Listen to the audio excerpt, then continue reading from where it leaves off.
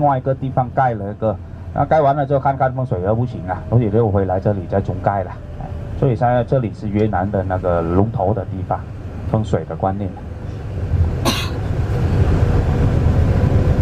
啊，这边算是全越南的行政区，行政。